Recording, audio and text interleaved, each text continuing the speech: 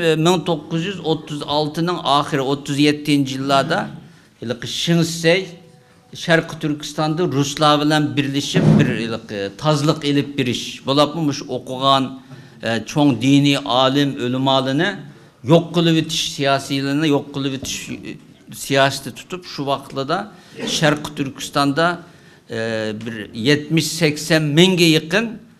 ilgar alim ölüma e, katarlık kişilerini Э, шейіт қылып атқан өлтіріп атқан шыңғыс сей руслар білән бірлесіп э, бұның де шо аблыким мақсум ажимкамның дадысы абжил дамолла ажимнымы э, шо гума якен қағылық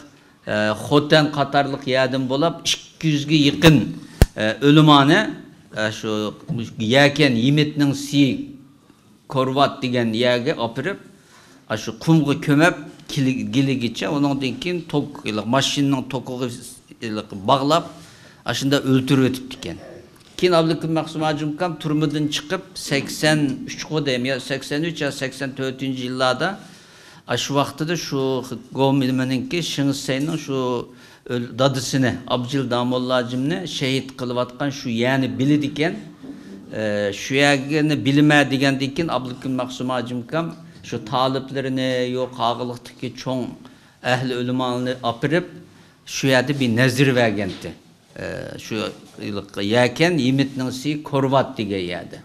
200'ge yakın ölümanı şu yerde şehit kılıp ötüp diken.